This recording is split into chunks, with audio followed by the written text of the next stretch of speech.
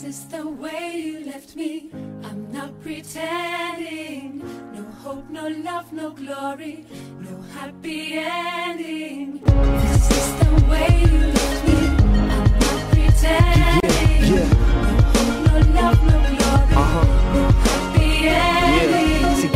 Was 18 when everything changed. Freshman in college, scholarship paid. Uh-huh. Boyfriend from high school was everything she needed. Loved Katie to death. When he said it, he would mean it. Soon enough, Katie started acting different. When he called to talk, she would hardly even listen. So the next weekend, he hopped on a flight. Thought a visit face to face would make everything right. Got to a place, butterflies in his stomach. Uh-huh. Necklace in his hand, he knew that she would love it. Uh-huh. As he walked up, heard a noise from afar. Turned around and saw that it came from Katie's car. It was kinda dark, but he swore saw the car shake.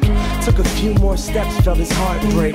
It was Katie, she was in the back seat having sex with the star player on the lax team.